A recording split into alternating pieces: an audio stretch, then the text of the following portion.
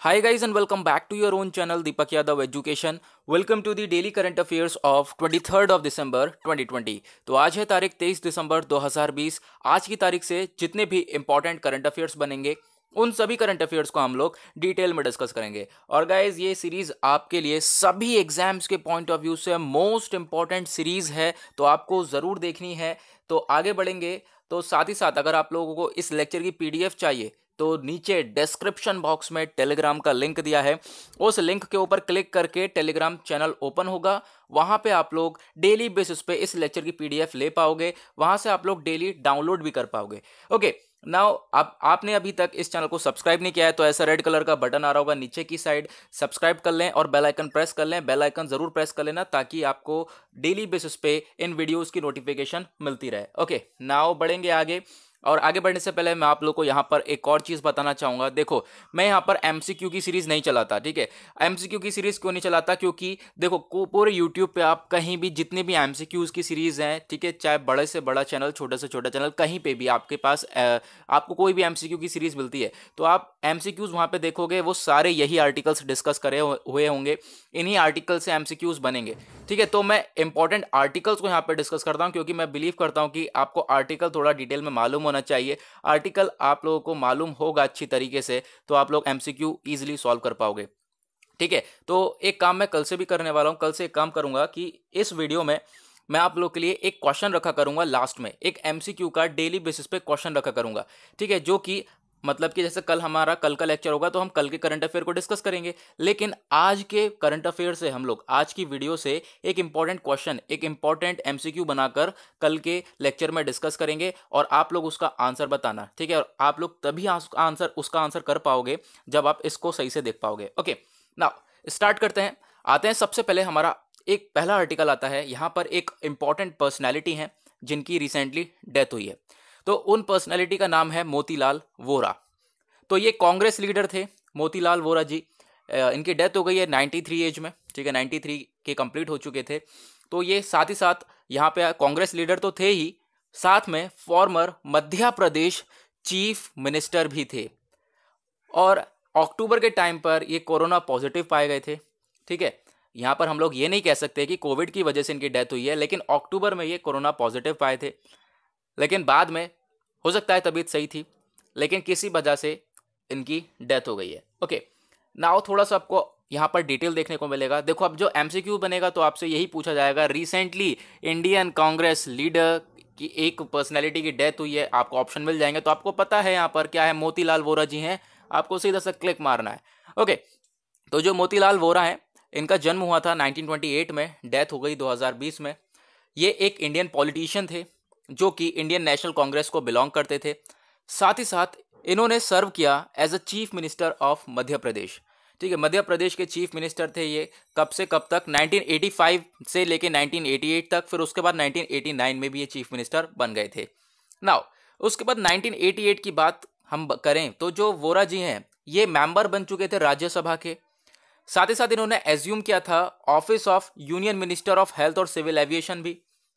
उसके साथ एक और चीज़, एक कैबिनेट मिनिस्टर भी ये बन चुके थे हमारे भारत सरकार में। उसके बाद आप लोगों को एक और पॉइंट देखने को मिलेगा कि यहाँ पर इन्होंने गवर्नर ऑफ़ उत्तर प्रदेश के लिए भी सर्व किया था, यानी यूपी के गवर्नर बन गए थे ये, और कब से कब तक थे? 1993 से लेके 1996 तक। तो ये इनके बारे में थोड़ी बहुत डिटेलिंग थी जो कि आप लोग को मालूम होना चाहिए। किसी भी एग्ज़ाम के अंदर पूछा जा सकता है इसके बारे में तो हमने इस आर्टिकल को कंप्लीट तरीके से डिस्कस करा है। नाउ यहाँ पर आते हैं, एक इंपॉर्टेंट आर्टिकल है और ये हमारा है सेकेंड आर्टिकल ठीक है? अब यहाँ पर एग्जैक्टली exactly क्या बात हो रही है? लेपर्ड की रिपोर्ट आई है।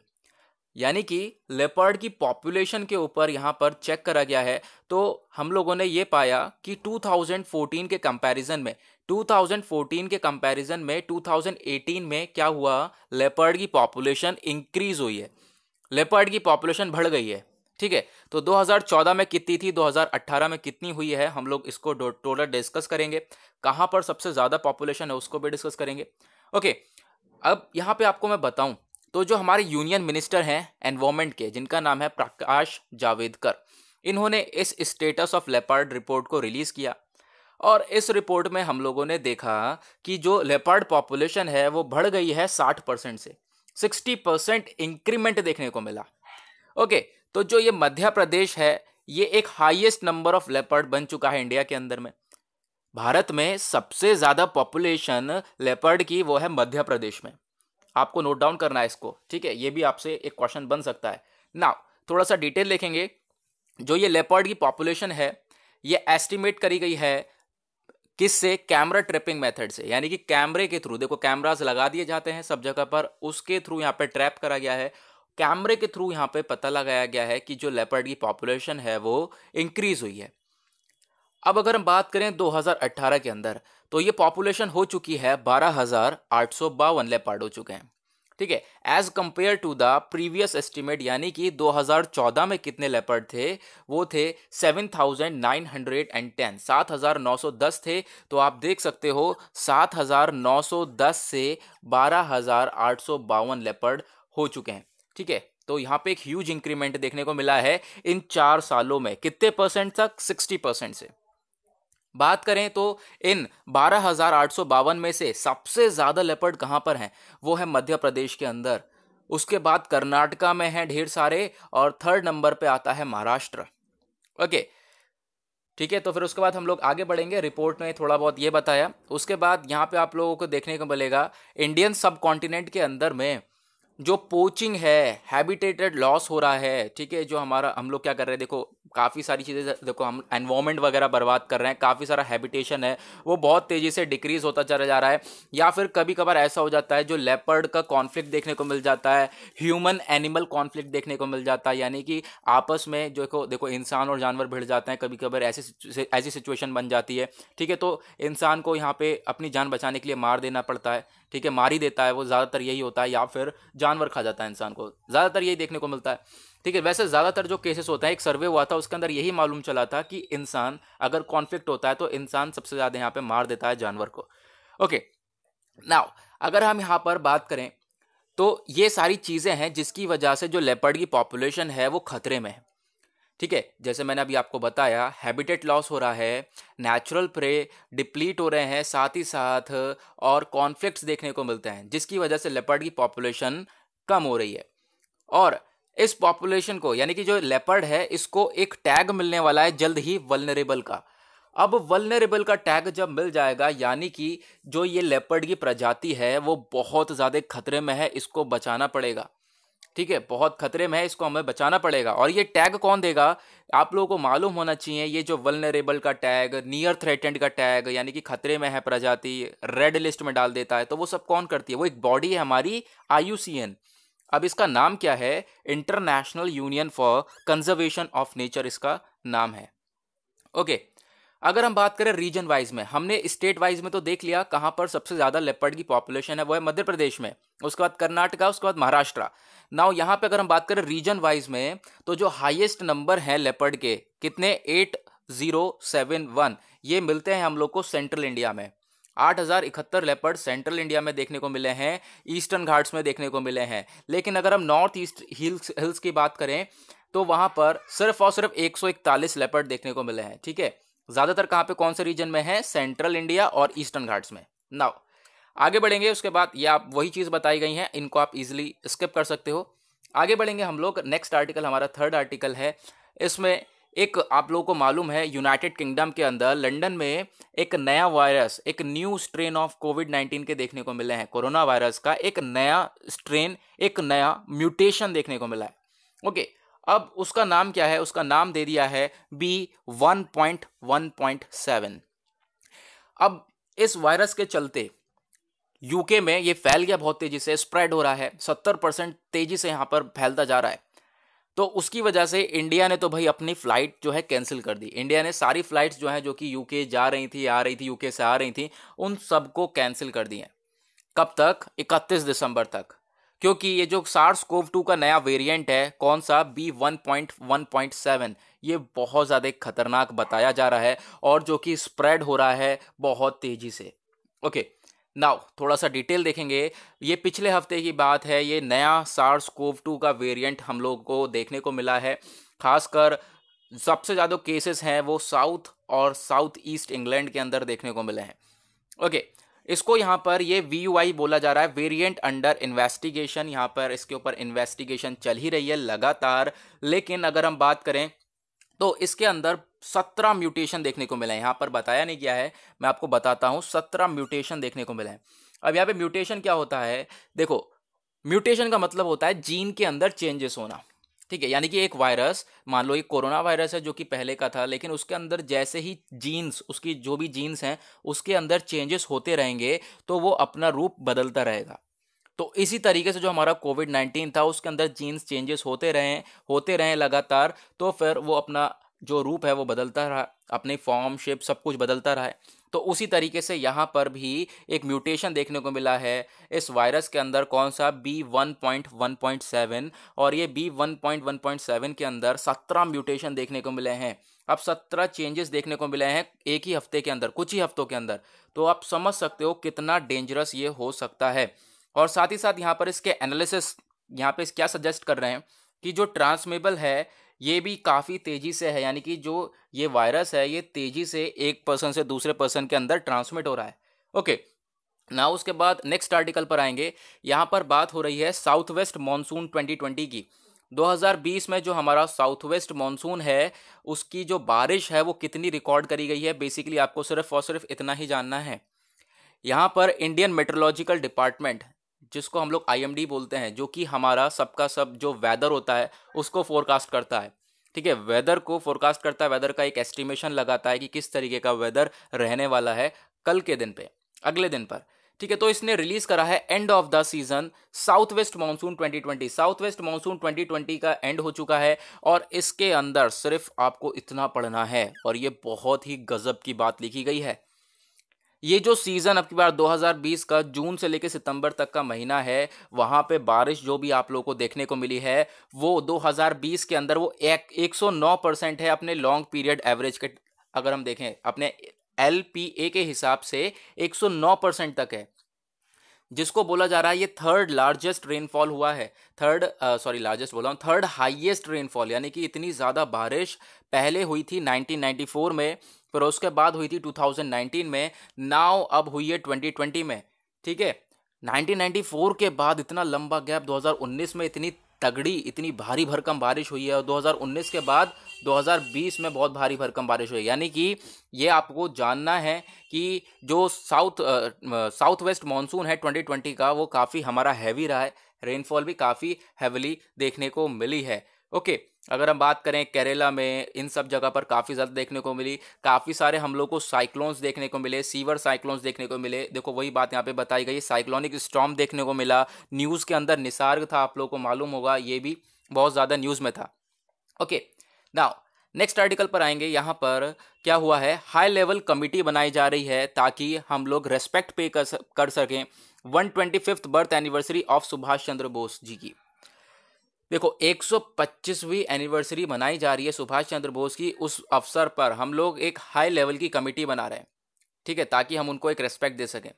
तो ये जो सरकार है, इसने डिसाइड किया है कि ये कमेटी बनाएगी, ठीक है, किस पर? 125वीं एनिवर्सरी पर किनके? सुभाष नेताजी सुभाष चंद्र बोस जी की एनिवर्सरी के ऊपर। नाउ ये जो हाई लेवल कमेटी है, ये डिसाइड करेगी एक्टिविटीज़ के ऊपर। एक साल तक यहाँ पे एक्टिविटीज़ के ऊपर डिसाइड करेगी। एक साल तक ये कमेटी रहने वाली है और ये स्टार्ट कब से होगी? तेईस से जनवरी 2021 से इस कमेटी को स्टार्ट करा जाएगा। ये जो हाई लेवल कमेटी है ये इसको हेड कौन करने वाला है? इसको हेड करेंगे हमारे union home minister Shri Amit Shah. Okay, जो मेंबर्स हैं इसके अंदर वो कौन कौन से होने वाले हैं? मेंबर्स बहुत सारे एक्सपर्ट्स होंगे हिस्टोरियंस होंगे ऑथर्स होंगे family members of Netaji Subhash Chandra Bose होंगे नेताजी सुभाष चंद्र बोस के जो फैमिली मेंबर्स हैं पर्टिकुलरली वो सब भी इसके अंदर इंक्लूड होंगे एज वेल एज काफ़ी सारे एमिनेंट पर्सन होंगे जो कि आज़ाद हिंद फौज से जुड़े हुए हैं। तो ये सारे लोग होने वाले इस कमेटी में तो बहुत कुछ नया देखने को मिल सकता है आने वाले टाइम पर हम लोग को। नाउ नेक्स्ट आर्टिकल की तरफ़ बढ़ेंगे। यहाँ पर एक इन्फेक्शन फैल रहा है कहाँ पर? केरला के अंदर। और इस इन्फेक्शन का नाम है शिगलॉसिस ठीक है, बहुत ज़्यादा न्यूज़ के अंदर में था ये। शिगलॉसिस तो जो हमारे हेल्थ ऑफिशियल्स हैं कोजी कोडा डिस्ट्रिक्ट केरला के, इन्होंने यहाँ पर बताया कि ये जो शिगलॉसिस है, इसके बारे में साथ ही साथ आपको को ये भी जानने को हैरानी होगी, काफ़ी सारे बच्चों को ये इन्फेक्शन हुआ। ये काफ़ी ज़्यादा आप कह सकते हो खतरनाक भी है। क्या है ये बेसिकली मैं आप लोगों को आगे बताऊँगा। तो ये जो इन्फेक्शन है nearly two dozen suspected cases were detected यानी कि दो दर्जन, यानी कि चौबीस से ऊपर केसेस देखने को मिल चुके हैं इस शेगलोसिस के। नाउ यहाँ पे शिगलोसिस या फिर आप कह सकते हो इसे शिगिला शिगलोसिस या शिगिला इन्फेक्शन जो है ये कॉन्टेजियस इंटेस्टाइनल इन्फेक्शन है। कॉन्टेजियस कॉन्टेजीनियस यानी कि देखो कॉन्टेजियस का मतलब होता है पर्सन टू पर्सन यहाँ पर ये फैल सकता है। ओके तो यहाँ पर ये जो इंटेस्टाइनल है हमारा, इंटेस्टाइन है, ठीक है, यहाँ पर ये इन्फेक्शन बेसिकली देखने को मिल सकता है। इस तरीके का यहाँ पर ये इन्फेक्शन है। अगर हम बात करें तो एक टाइप का जो ये बैक्टीरिया है is one of the prime pathogen responsible for causing diarrhoea तो ये जो शिगोलोसिस है, ये एक टाइप का बैक्टीरिया है, जो कि रिस्पॉन्सिबल है डायरिया के लिए। देखो, इससे क्या होता है मेन सिम्टम है जो इसका, वो है डायरिया अगर ये शिगोलोसिस है किसी को तो मेन सबसे पहले क्या देखा जाएगा उसके अंदर कि उसे डायरिया है। Okay especially in children in African and south Asian regions के अंदर यहाँ पे काफ़ी सारा देखने को मिल मिलता है ये। अफ्रीका और साउथ एशियन रीजन में ये शिगलोसिस देखने को मिलता है। जो बैक्टीरिया है, जब ये बॉडी के अंदर एंटर हो जाता है तो ये अटैक करता है epithelial lining of the colon resulting in inflammation of the cells जो आपके सेल्स होते हैं, उनके अंदर सूजन आ जाती है और उसके थ्रू जो सेल्स हैं, वो आपके डैमेज होने चालू हो जाते हैं इस इन्फेक्शन की वजह से. नाउ अगर हम बात करें इस इन्फेक्शन के कुछ कॉमन सिम्टम्स हैं, यहाँ पे आप लोगों को देखेंगे को मिलेंगे. सबसे पहले जो डायरिया है डायरिया में होता क्या है, आप लोगों को मालूम होगा, पेट खराब हो जाता है लूज मोशंस होने लगते हैं स्टूल जो है वो बहुत लूज हो जाता है है ना? तो जो डायरिया है ऑफन ही ब्लडी हो जाता है पेनफुल हो जाता है खून आने लगता है ठीक है? बहुत पेनफुल होता है। स्टमक पेन देखने को मिलता है फीवर नॉस या वॉमिटिंग ये सारी चीज़ें देखने को मिल जाती हैं अगर ये आपको शेगलेसिस है।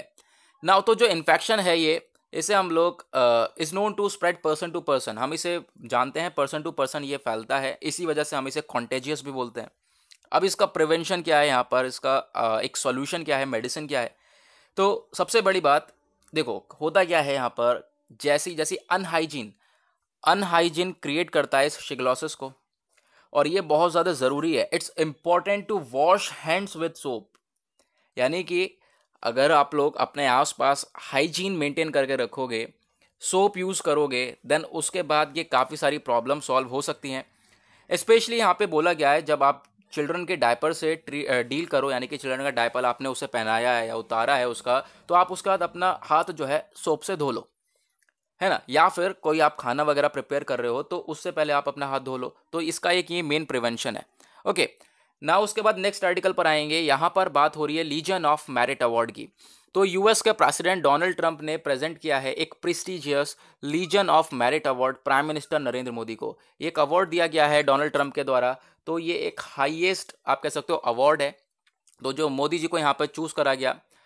और ये जो अवार्ड है, ये किसने दिया जाता है? सिर्फ़ और सिर्फ़ head of state of head of state और गवर्नमेंट को यहाँ पे दिया जाता है। तो जो मोदी जी को चूज़ करा गया, क्यों? क्योंकि डोनाल्ड ट्रंप के द्वारा बताया गया इंडिया के साथ हमारे स्ट्रेटेजिक पार्टनरशिप जो है, वो बहुत ही बेहतरीन तरीके से बढ़ती हुई नज़र आई है। स्ट्रेटेजिक पार्टनरशिप बहुत अच्छी तरीके से निभाई गई है यूएस और इंडिया के बीच में। देन यही एक रीज़न है जिसकी वजह से ये लीजन ऑफ़ मेरिट अवार्ड दिया जा रहा है हमारे प्राइम मिनिस्टर नरेंद्र मोदी जी को, जो कि इंडिया के लिए भी बहुत ही अच्छी बात है। नाउ ये जो यूएस प्रेसिडेंट हैं, इन्होंने ये जो लीजन ऑफ़ मेरिट अवार्ड है, ये इंडिया के पीएम को तो दिया ही है, साथ ही साथ ऑस्ट्रेलिया के प्राइम मिनिस्टर स्कॉट मॉरिसन को भी दिया है। उसके बाद जापान के प्राइम मिनिस्टर शिंजो एबो एबे को भी दिया गया है। अब आप लोग देखोगे कि इन सब के नेम आ रहे हैं। ठीक है, इसमें कौन कौन आ चुका है? इंडिया आ चुका है ऑस्ट्रेलिया आ चुका है जापान आ चुका है। नाउ अगर हम बात करें तो यूएसए ने अवार्ड दिया है। अगर आप लोगों को मालूम होगा ये चारों कंट्री मिलकर क्या बनाती हैं? ये चारों मिल, कंट्री मिलकर बनाती हैं क्वाड ग्रुप ठीक है? तो ये इसी वजह से यहाँ पे क्वाड ग्रुप भी न्यूज़ के अंदर है। अब ये जो अवार्ड है देखो हुआ क्या है कि सारे ही प्राइम मिनिस्टर अपनी अपनी कंट्री में है। इंडिया के प्राइम मिनिस्टर अपनी कम, अपनी कंट्री के अंदर में तो अवार्ड किसने रिसीव कर ले? अवार्ड जो रिसीव करे हैं वो सब जो है एम्बेसडर्स हैं इन इन कंट्रीज़ के जैसे इंडिया का एम्बेसडर हैं वो वाशिंगटन डीसी में जो हैं उन्होंने इस अवार्ड को रिसीव करा है। ओके तो गाइज़ यहाँ पर होता है, इसी के साथ हमारा आज का डेली करंट अफेयर वीडियो का एनालिसिस पूरी तरह से समाप्त। आई होप आप लोगों को सारी चीज़ें क्लियर होंगी, हमने डिटेल में सारी चीज़ों को देखा है। और गाइज़ वीडियो पसंद आई हो तो लाइक ज़रूर करना, और अभी तक आपने चैनल को सब्सक्राइब नहीं किया तो नीचे रेड कलर का बटन आ रहा होगा सब्सक्राइब करके बेल आइकन प्रेस कर लेना। आज के लिए बस इतना ही, मिलेंगे आप लोगों से नेक्स्ट वीडियो में। आज के लिए bye bye have a nice day